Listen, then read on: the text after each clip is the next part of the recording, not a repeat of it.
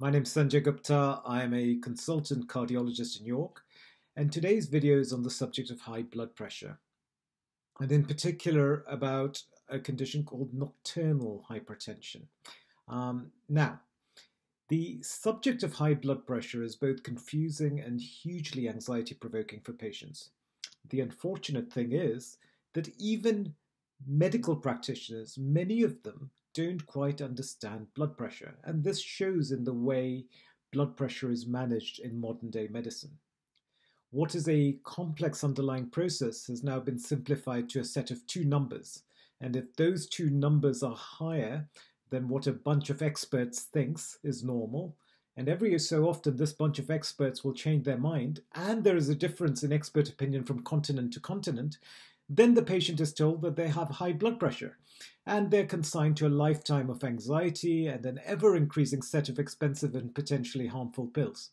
If we think about it, it's a very clever way to use fear to generate profit. Tell everyone whose number is above a certain value that they're at risk of something bad happening to them, strike the fear of God into them, give them a label so that insurers can start charging them more get them on medicines for life so that the pharmaceutical industry can benefit, let them have side effects from the medications that they're given, and then give them more medications to counter those side effects.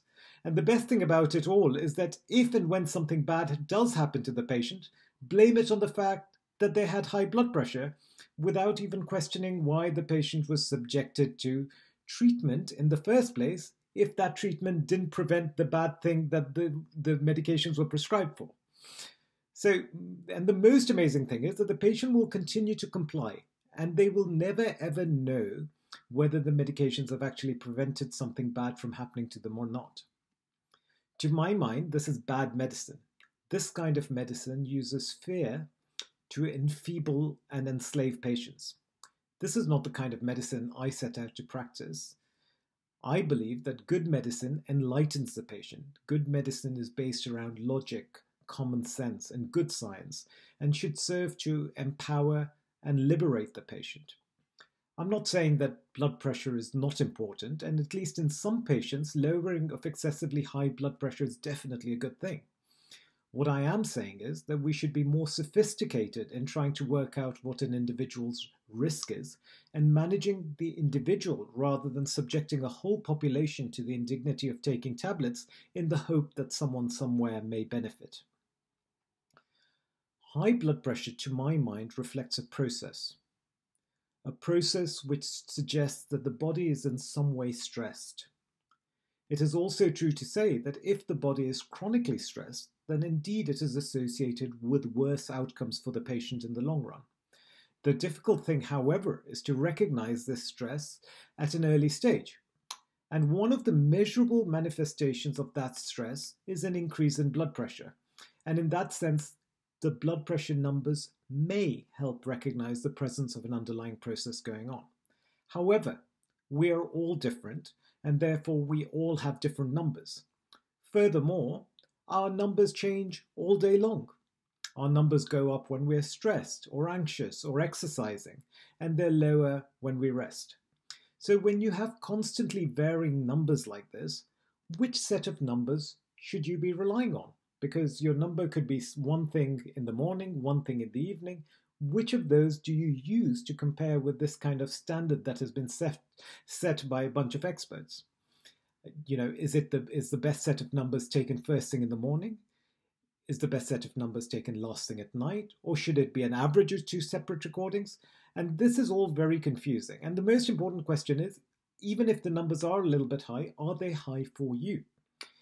So you can see how confusing it all is. And to my mind, the answer is that the important numbers to rely on are the numbers that have been shown to be the most predictive of harmful events in the future.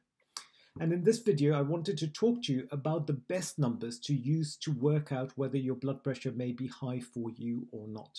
Okay. Now, as doctors, we recognize that isolated blood pressure recordings are entirely useless. They cannot be used to make a diagnosis, they cannot be used to predict prognosis, and they cannot be used to monitor a patient's response to treatment because they vary all the time. So you can put you can measure something, it may be artificially high. You may then give them medication and when the patient comes back because they're anxious, the blood pressure is still high, and a doctor may then be misled into thinking that the blood pressure medication isn't enough and increase the blood pressure medication when actually none of those numbers that the doctor was working with were reliable in the first place. So, isolated blood pressure readings are a waste of time. The best way to get a good understanding of blood pressure is to use something called ambulatory blood pressure monitoring. Here, a blood pressure machine is strapped to the patient for 24 hours, and the machine will automatically measure the blood pressure twice every hour during waking hours and once every hour during sleeping hours. And then all these recordings um, are computer are um, compiled and then averages worked out. And you get three averages okay? You get a 24 hour average so all the recordings averaged out.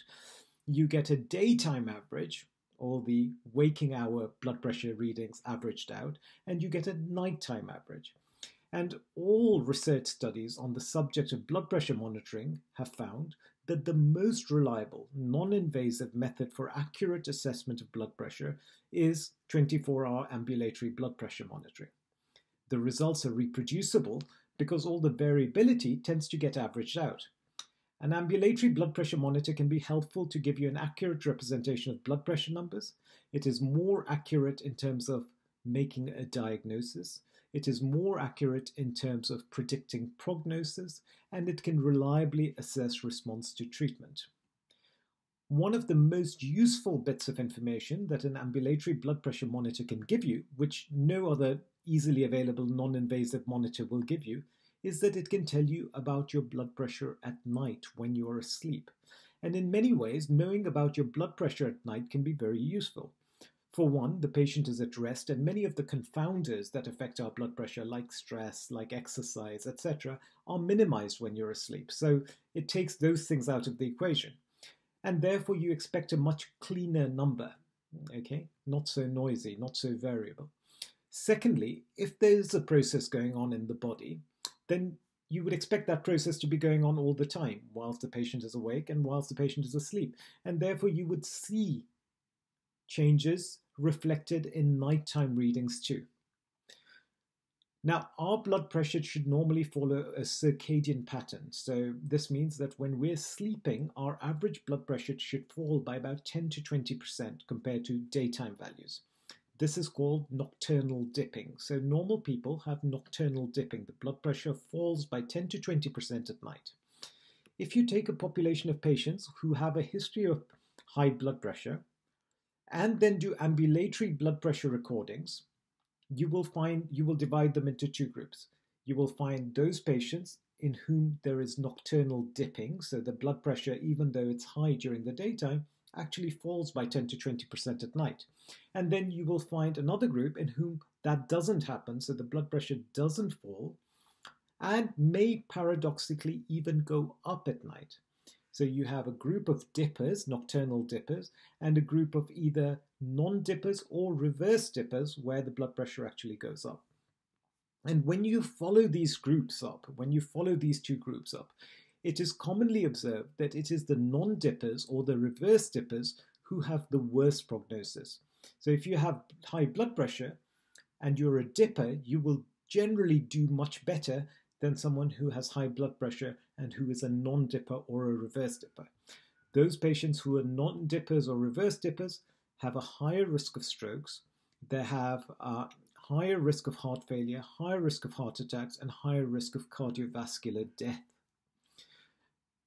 this is particularly useful because it allows you to work out also that whether the blood pressure is high for you. You're not really comparing your blood pressure to someone else's. You're comparing your blood pressure, you're looking at yourself and you're saying, okay, well, this is what should be happening to my blood pressure at night, and it doesn't. So, in some ways, if it isn't, it's telling you about yourself. You're not just comparing one value with a set of values decided by a bunch of experts. And that's really important it is also worth also knowing that in some people, uh, patients have um, elevated numbers at night, irrespective of whether they dip or not. And these patients are termed as having nocturnal hypertension, meaning that their blood pressure, even though it may dip or it may not dip, the blood pressure is above a certain value. Current guidelines, uh, American guidelines say that the nighttime average readings should not be above 110 over 65, and the Europeans say that the current uh, nighttime average should be not be above 120 over 70. About 30 to 50% of those people who have high blood pressure during the day will also have high blood pressure during the night. And these people have a much worse outcome compared to those people who have um, high blood pressure during the day, but actually at night the blood pressure is okay. Those the people who are tend to be at more at risk of nocturnal hypertension are older patients, patients with kidney disease, patients with diabetes, patients with elevated calcium levels, elevated uric acid levels, elevated homocysteine levels, they tend to be more prone to this nocturnal hypertension.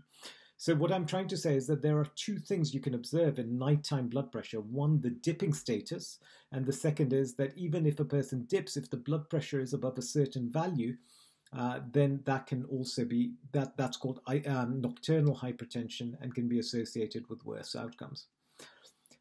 What is also really interesting is that in some patients, you may have normal blood pressures during the day, and therefore these patients are not diagnosed with high blood pressure, but they still have the process going on.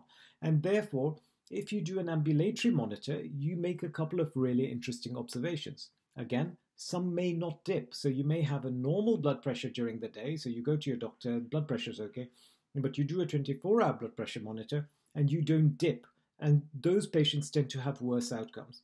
And then, of course, there's another group of patients in whom there is some dipping, but the blood pressure still remains excessively high at night. Uh, and those people are called as are termed as having isolated nocturnal hypertension.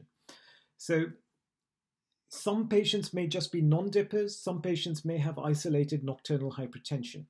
But the point is that these people will not be diagnosed as having a problem if they're only assessed during the day. And therefore, and also we're not quite sure as to which one is more important. Is non-dipping more dangerous compared to just having high numbers at night?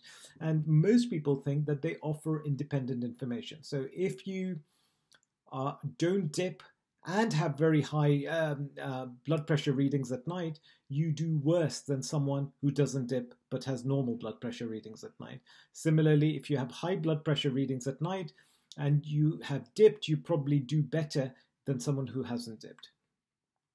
And so now many experts feel that perhaps the best information about prognosis from blood pressure is gauged from what the blood pressure does at night when the patient is asleep. And so, why is this important? Why is it important to know this? Well, nocturnal hypertension and even dipping status is only diagnosed with ambulatory blood pressure monitoring. So, if you haven't had a 24 hour blood pressure monitor, you may be at risk and you may not even know about it.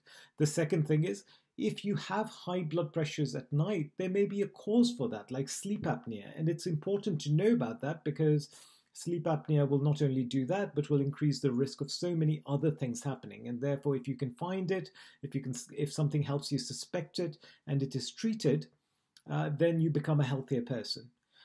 Another thing worth knowing is that there are some medications which seem to work better at restoring dipper status and reducing nighttime blood pressures. There is some evidence that calcium blockers, and there's also something called uh, aliskiren, uh, which seem to be more effective compared to medications such as beta blockers at lowering nighttime blood pressure. So if you had that, then maybe uh, treatment would be modified in a way that you take those medications which work better at night. Finally, and the most interesting thing to say is that there is a lot of evidence that suggests that changing the timings of when you take your medications can be very helpful and have a measurable impact on prognosis. So, taking the medications at night before bedtime may be preferable to taking medications in the morning. In my practice, I rely heavily on ambulatory blood pressure monitoring to diagnose and manage patients. Uh, and perhaps the only reason ambulatory blood pressure monitoring is not used more often is because of cost. Uh, if you want to understand your blood pressure, I would highly recommend ambulatory blood pressure monitoring, and they're not even that expensive. And now, actually, with the virus and the pandemic, we're actually able to post them out to patients. So, you know, you're worried about your blood pressure rather than worrying about it. You get a 24 hour ambulatory blood pressure monitor sent to you through the post. You put it on, it records for 24 hours, you take it off, you post it back and then we can download the blood pressure recordings and um, uh, give you a really, really good assessment of what is going on with your blood pressure. Uh, this is a service I've started offering many of my patients, and if any of you are interested, please email me at yorkcardiology at gmail.com. So I hope you found this useful. I think it is really, really important. I think we should be a lot more sophisticated about understanding blood pressure, um, but unfortunately, cost effectiveness uh, is the problem, and uh, a lot of times uh, people just look at numbers and just give you medications on the basis of isolated readings, which is clearly not a good thing for the individual, even though it may be a good way of offering, uh, trying to treat a population. Great, thank you so much. Again, once again, I'm so grateful for all that you offer, uh, for all that you do for me, and um, uh, this is the new year, so I wish you a really happy and healthy new year. All the best. Bye.